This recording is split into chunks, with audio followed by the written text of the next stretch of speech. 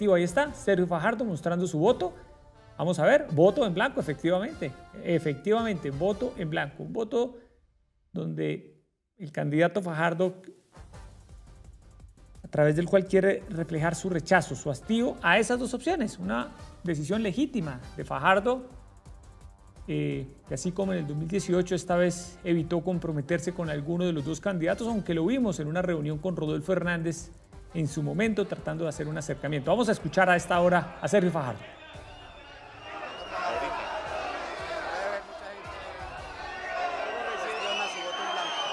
Bueno, estamos en una democracia y que silben está bien.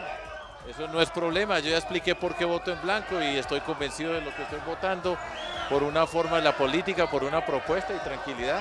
¿Muestra esto de, de la polarización en la que está el país? Es parte, es parte de esa polarización. Yo voto en blanco, orgullosamente en blanco y a mí esto no me mortifica y pueden gritar y pues está bien que griten pues, pero mientras que no pasen de gritar y decir dos o tres tonterías, no pasa nada, es la democracia. Si hubieran aceptado alguna de sus propuestas que usted eh, le indicó, hubiera cambiado el voto, o sea, ese voto se cambió en último momento. No, yo expliqué muy bien las razones para el voto y las expliqué con todo el cuidado y pues estaba clarísimo en lo que estaba haciendo. Hace cuatro, hace cuatro años. Voté en blanco conscientemente, con toda la tranquilidad del caso y con toda la convicción. Hace cuatro años usted decía, si no hay victoria, me retiro ya de la, ¿Va a seguir activo cuatro años después?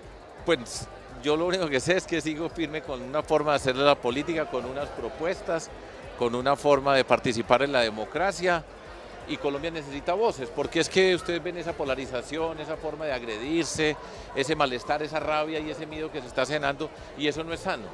Entonces hay que cuidar a Colombia y pues entender lo que pasa, las cosas que están ocurriendo, pero tener una voz también que hable de seriedad, de decencia, de dignidad, de respeto, de reconocimiento, de tranquilidad que necesita Colombia. ¿Su equipo político cómo se organizará para la oposición a cualquiera de los dos candidatos? Vamos a ver, vamos a ver. Vamos a ver, todavía hay mucho camino por recorrer. Después de todo esto tenemos que revisar, analizar con todo el juicio y, y ya. Si le hubieran aceptado las propuestas, hubiera votado. No, eso es si hubiera, eso es tiempo pasado. Yo expliqué por qué no votaba por el uno y por el otro y por qué votaba en blanco. Y lo hago conscientemente y sabiendo pues que es una posición minoritaria en este país polarizado.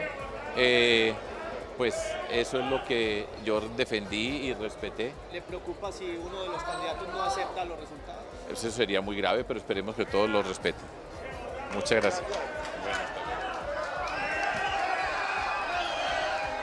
Bueno, eh, con chiflidos, con silbidos, con arengas de fuera, fuera, fuera, recibieron a Sergio Fajardo ahí en Medellín, en el Colegio INEN, un hecho noticioso, un hecho interesante, digno para el análisis